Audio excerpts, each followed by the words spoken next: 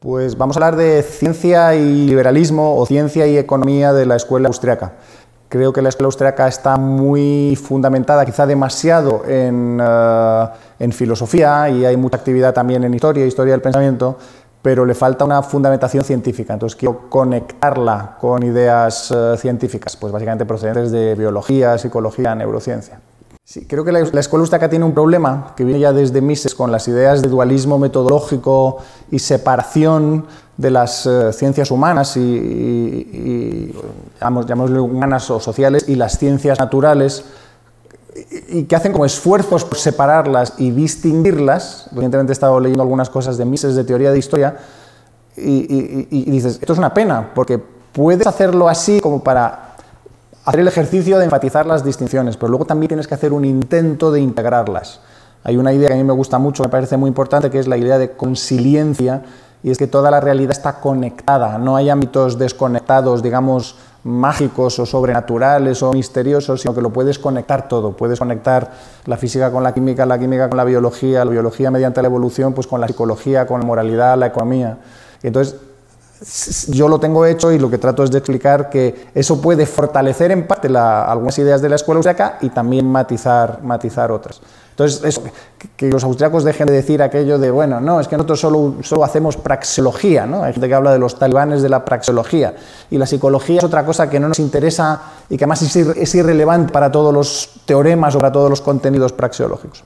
Cuando, cuando, cuando estudias todo el ámbito de la realidad o sea, los, distintos ámbitos de la realidad, ves que son diferentes, pero que son diferentes no quiere decir que no puedan conectarse. Entonces, un, simple átomo, un electrón o un ladrillo son distintos de un animal y un animal no humano es distinto de un animal humano, pero es posible estudiar qué les conecta y qué les diferencia. Entonces, es verdad que los seres humanos tenemos voluntad, pero también la tienen los animales. El, hecho de tener una cierta autonomía, unos ciertos intereses, emociones, preferencias, valoraciones, es algo típico de todos los seres vivos. Los humanos quizá lo tengamos más sofisticado.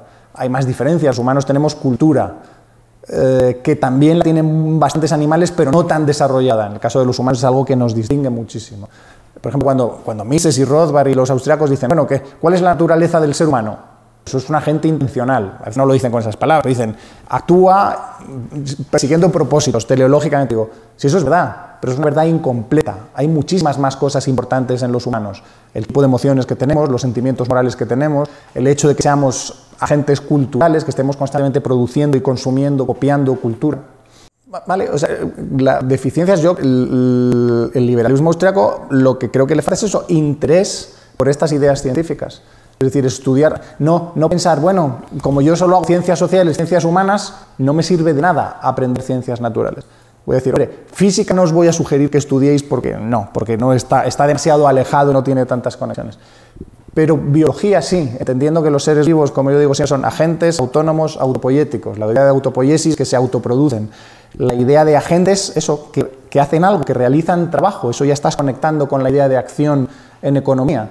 Lo único es que luego vamos a ver que la cibernética te enseña que hay distintos tipos de control de esa acción, tipo reacciones más directas, más inmediatas, hábitos irreflexivos y acción intencional, que es la que estudian digamos, la, la praxeología. Pero es posible ver cómo la acción intencional es como la forma más sofisticada de control de la acción y es posible que haya evolucionado. se puede explicar cómo puede haber evolucionado a partir de otras formas más, más simples.